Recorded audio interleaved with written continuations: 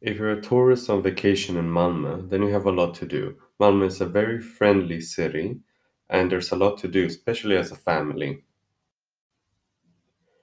Watching movies in the cinema is a really popular activity for both parents, kids, and teenagers alike. There's movies for kids, but also R rated movies for teenagers and over. If you want an even more bizarre cinema experience, then you can go to a place called Spegeln, where you can drink something or even enjoy a meal while you watch a movie. If you want a fun and more active activity, then bowling might be your thing. Bowling is a very popular family activity that is fitting for all ages.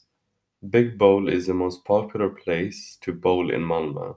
Not only can you bowl, but you can also have a lot of snacks, drinks, and food if you play more rounds than what you originally thought of.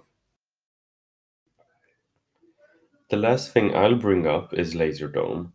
Laserdome is an action packed game where you are in a very dark lit arena and compete in two teams who can shoot more people and score most points with laser guns. It's a really popular activity with kids and teenagers, but also as a family activity.